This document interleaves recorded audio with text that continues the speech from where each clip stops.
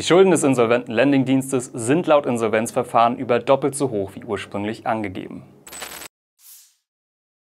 Das wahre Ausmaß des Celsius-Bankrotts beginnt sich erst jetzt richtig zu zeigen.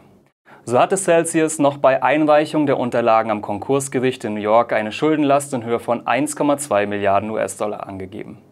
Das tatsächliche Defizit beläuft sich jedoch auf 2,85 Milliarden US-Dollar.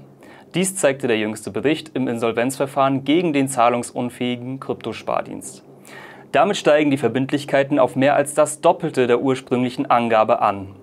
Aus dem Bericht geht weiter hervor, dass Celsius ganze 62.000 Bitcoin, umgerechnet eine Milliarde US-Dollar seiner Kunden verloren hat.